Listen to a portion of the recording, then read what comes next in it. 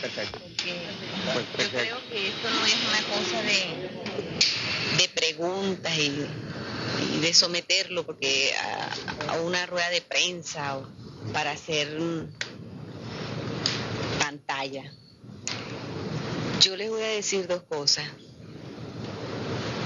Yo lamento profundamente lo que está pasando, no solamente en el país,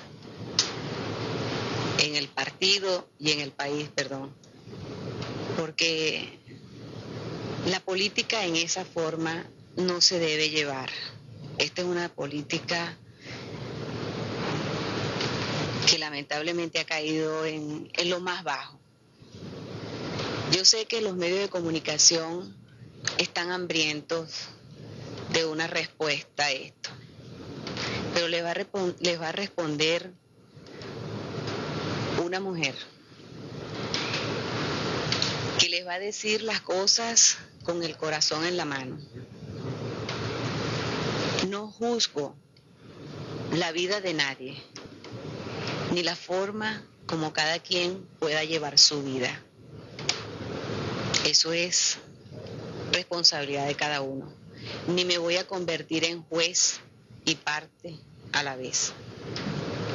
Pero quiero decirles como mujer que a mí no me avergonzaría jamás ser concubina o ser barragana, como se me ha insultado.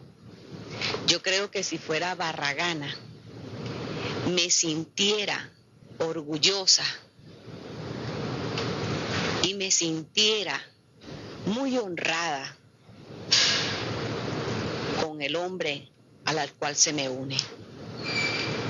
Estoy unida a él por unos sentimientos de afecto y de cariño que a través del tiempo y durante 20 años hemos trabajado y hemos luchado para llegar a la posición que él como hombre político y dedicado a algo muy grande como es